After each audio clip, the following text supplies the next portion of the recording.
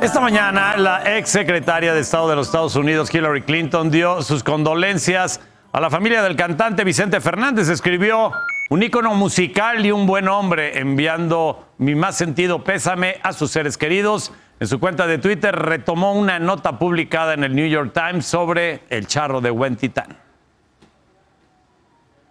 Bueno, pues ahí está, ahí está ese tuit.